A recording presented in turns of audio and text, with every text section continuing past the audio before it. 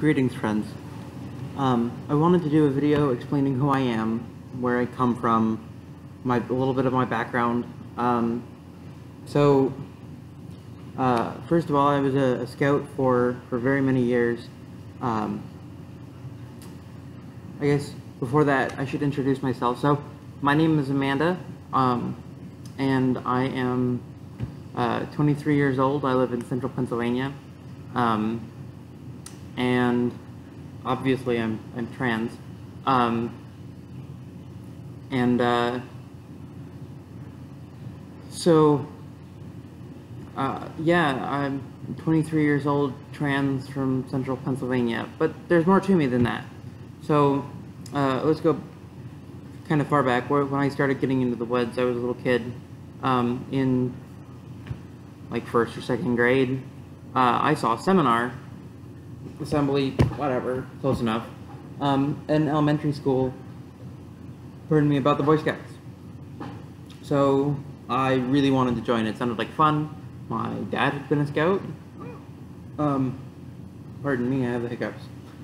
Um, and so I joined the Scouts, and I stayed in the Scouts from then until around the time that I turned 16. And I got out because I got fed up with all the politics and the nonsense and the popularity contest, and it just it wasn't fun anymore. So I stopped. Um, in that time, I made the rank of first class. Uh, my scout masters were not happy that I had no interest in Eagle Scout. I was more interested in conservation.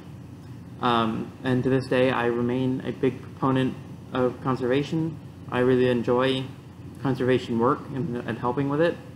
I have not been able to do it for a little while, but I do enjoy it. Um, and uh, so uh, I learned a lot of skills. Some of them I've forgotten, but I still strive every day to live by the Scout Oath Law slogan and motto. Um, and and later I'll I'll talk about what those are because that's um, those are fairly pivotal to my life and to who I am and how I've developed as a person, but not in this video. That'll be separate. Um, so, uh, I, uh, after being a scout, uh, of course, a big part of that was I, I, came out as trans, and trans people aren't allowed to be in weren't allowed to be in scouts, uh, especially being a trans woman.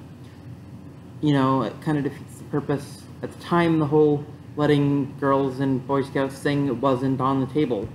So, you know, of course, that was also part of it. And um, I came out as trans in 10th grade. And after my senior year, I, I hit a point where I really had no idea what I was going to do with my life. I genuinely didn't expect to ever make it far enough to graduate high school. I really didn't. Um, I had some very serious issues and honestly, genuinely was, I, basically was staying alive because other people wanted me to. I didn't really care either way, whether I lived or died. And that's a little heavy, but it's true. Um, so, um, you know, I graduated high school and I, I genuinely didn't know what I was going to do with my life because I didn't expect to make it that far. So I spent a lot of time sulking, well, not quite sulking, um, but secluding, recluding, reclusing. I basically stayed in my room all the time. Uh, I was awake all night, I slept all day, uh, I would come upstairs and get food, and that was about it. And I mean, hardly ever showered. I, I took horrible care of myself, and eventually it kind of hit a breaking point between myself and my family that I was living with, and I left. And starting at basically since September of 2013, I spent the vast majority of my adult life now homeless in one way or another. And living so long homeless really does um, have an effect on you. You learn a lot of things, you gain a lot of perspective. Um, but backing up to whenever I had first left home. So I immediately, basically, I, I, stayed with a friend for a couple of nights, and then basically the next Monday I moved in um, to the homeless shelter in the town that I lived in, and I stayed there for a few months. Eventually, I got really fed up with their rules. They were very against having a trans woman living at the shelter. So I moved out and I started living with a guy that I had known when I was in high school. Uh, we were sort of together. It's complicated. Um, and um, yeah, so I lived with him for a while until basically until uh, he decided that he didn't want to have me around anymore. Decided that I wasn't actively looking for work, which is bullshit, but whatever. Um, and decided that I needed to be gone.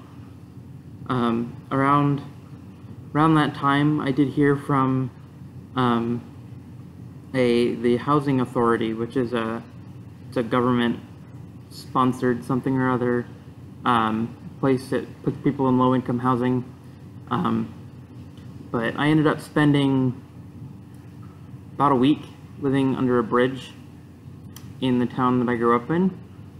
Um, and that was not the proudest time of my life. Uh, around the time that I was um, going to go in there, um, I had tried to see if I could move back in with my parents. They were fairly opposed to the idea. Um, not without understanding. Um, and uh, that's when I heard from the housing authority and I moved in there. I had I lived there for a while.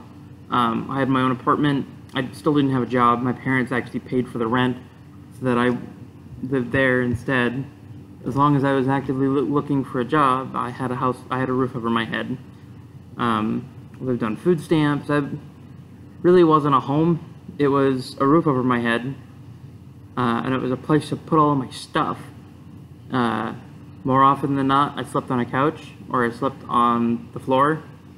Um, and that was it. I spent a lot of time with my uh, uh, visiting my parents, visiting my family, and visiting friends, but I never really was able to find work.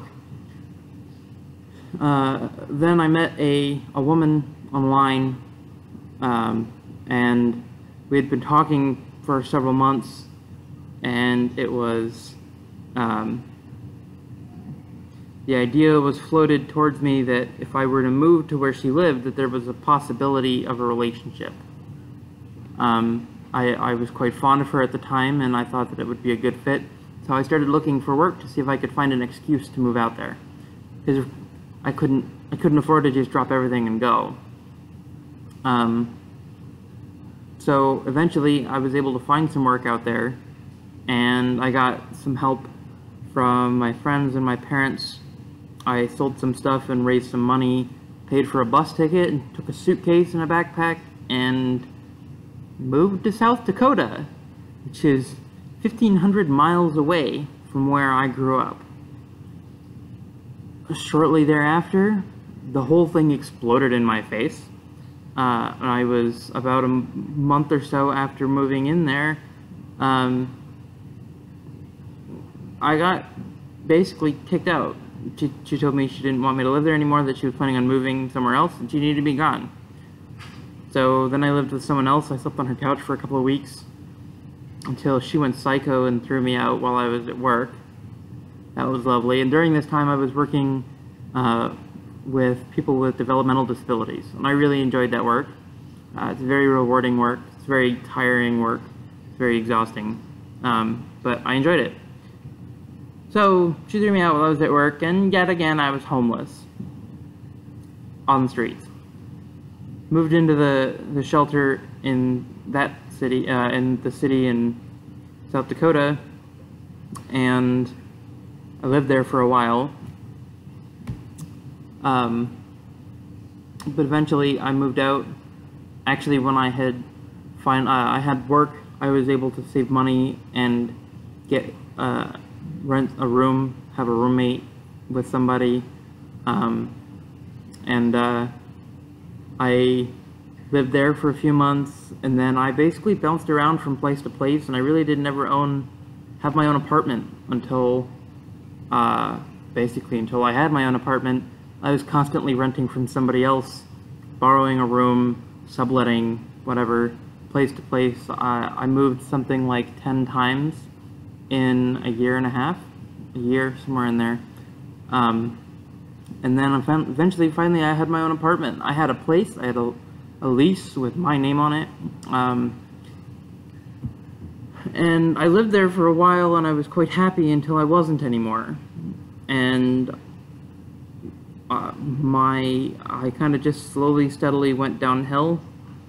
Um, and eventually, Christmas, around Christmas of 2017, no, 2016, around Christmas of 2016, I called my parents and I asked if I could move back to Pennsylvania and live with them. And they said yes. So I did.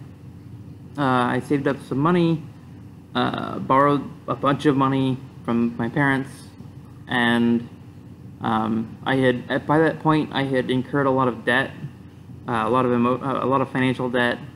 Um, I had tried going to school because I was told all through high school that I needed to go to college, and I figured, well, since there's a college here, I guess I'll do it. But the stuff that I did there, I found wasn't really suited to me.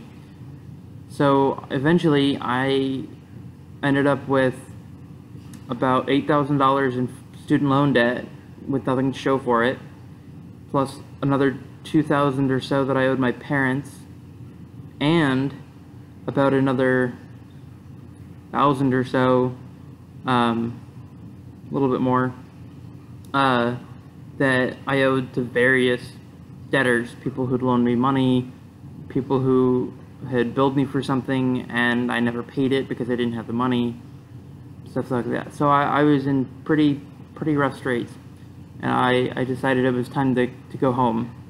So I packed up my apartment, put it all on the back of a U-Haul truck, and drove 1,500 miles to Lewistown, Pennsylvania.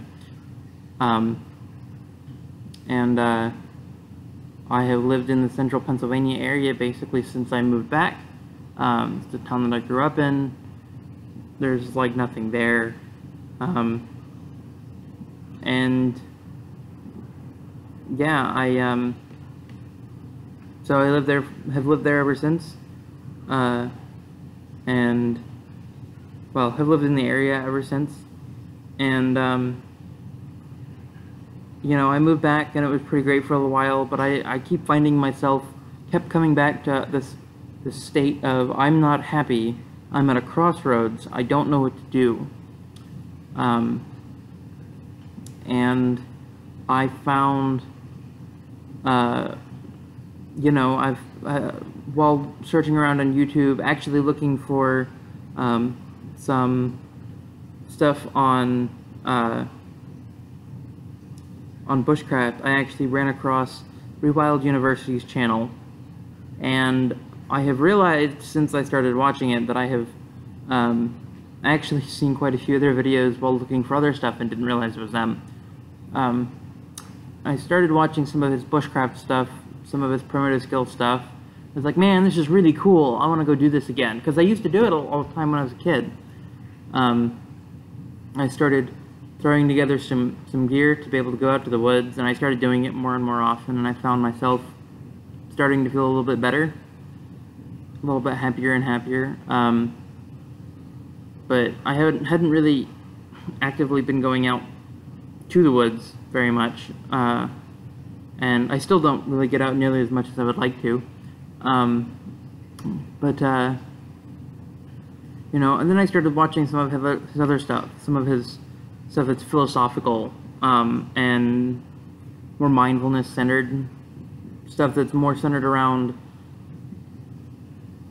the person and not as much around the wild environment or the primitive skills. I, I found myself going, yeah, this really makes sense. Um, before I before I continue anymore, I want to back up a little bit. So while I lived in South Dakota, um, I had been looking for a HEMA club, which is Historical European Martial Arts. And I found that the closest one to where I lived was like six hours away in Wyoming. And I was like, yeah, no. So while Googling around for something else, I came across an old forum post that said um, that if you were looking for HEMA but couldn't get, there wasn't anything close to you, that you could, to check out the SCA, the Society for Creative Anachronism. So I said, okay. Um, I, I, I Googled it and I'm like, what is this Society for Creative Anachronism thing? I found the society website. I boiled that down to I found what kingdom I lived in. At the time, it was the kingdom of Northshield. Um, and then I boiled that down some more. I found what my local group was, and I, I found them on Facebook.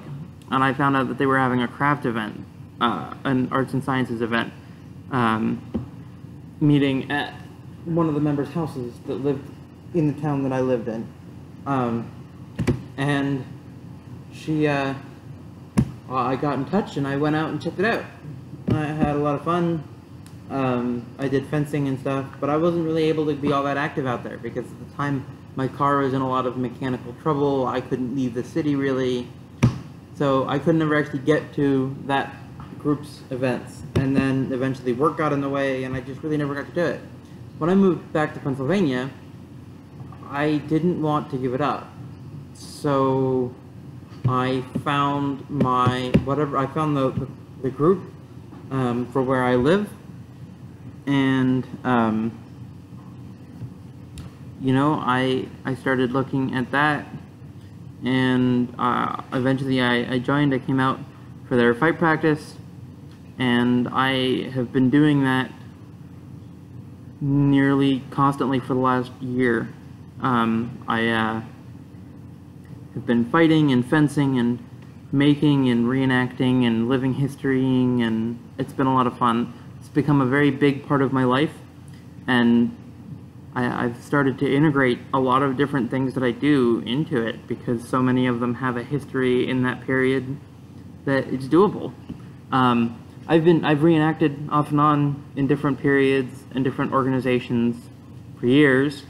Um, I've done Civil War, I've done Vietnam War, I've done World War II, and now I've done uh, pre 17th century, uh, specifically 10th century Viking, um, but some other stuff as well. And I really enjoy it. It's a lot of fun. Now, of course, I also do uh, HEMA fencing, which is a little bit more involved, a little bit more um, aggressive than SCA fencing. I really enjoy SCA fencing, but I wanted to step things up a little bit. So I, I started going and, and learning that, and it's been a lot of fun. Um, and it's been become a really big part of my life, uh, which it's actually the the impetus for um, time travel bushcraft, and uh, for for where I got the idea for that channel. Um, there's of course nothing uploaded there yet. Um, my my nice camera that I just got broke, um, I don't I don't know if I just got a lemon or what, but so I I now have to get that figured out. Um, but otherwise, you know, I have have done quite a lot of stuff, and I'm really enjoying that. Um, but so so following Rewild University's videos, I eventually did a little series that's uploaded here about uh, sleeping without a pillow. And I slept without a pillow almost constantly since I did that first, um, now a couple months ago. And um, it's, uh, it's been a lot of very interesting introspection, a lot of very interesting personal exploration. I've learned a lot about myself and about what I'm capable of in the last couple of months um, in at least in theory. Uh, I'm hoping and praying that the next uh, that you know I can I can step this up and that I can I can make this happen. I feel like this has a a real chance of being a positive force in my life and really bringing me out of that crossroads and giving me a direction to go because I, I do feel like I don't have a direction still. I, I really never thought that I'd make it to 23 I didn't. But here I am with no direction. So, but I'm finding one myself, and I'm quite proud of that. Um, so, anyways, uh, that's that's been almost 20 minutes now of me talking about who I am and where I've come from and what I do. Um, I've left out a lot of the more violent parts of my personal history. Of course, being trans, I've been a target of a lot of violence. Um, I've been assaulted God knows how many times. Um, and you know, I've had I've had quite a lot of very dark history. Um, I really don't. I do share it on request, um, but I don't. Uh, I don't typically talk about it all that much because people they don't like to hear about that kind of thing, which I get. But so, um, I uh, for for those that are that are interested in that aspect of my life, uh, I would be more than happy to share. But I want to do I will do so in private, um, just so that other people aren't exposed to it unnecessarily if they don't want to be exposed to it. Um, so other than that, um, yeah. So that's who I am. That's where I've come from. It's been a long road. It's been a hard road but I'm finally starting to get a direction in my life, have somewhere to go. Um, if you found this interesting, you found this to be um, inspiring, anything like that, um, please feel free to subscribe and leave a comment. I'm sure that, you know, there will be some sort of interest in it, I'm somewhere. Uh, and uh, I hope that uh, my experiences can continue to help and guide others. Um, and as I progress down this this path of rewilding, uh, I will be leaving more and more stuff here. Um, this this channel will be significantly more active, despite being basically a side channel of the main project. Um, just because I'm not putting a whole lot of effort into getting these produced. I'm talking to a camera. I'm uploading it to YouTube. That's it. Um, so, anyways, uh, I really hope that this was this, this was enjoyable and uh, or at least interesting, and uh, stay tuned. I'm sure there will be more to come soon.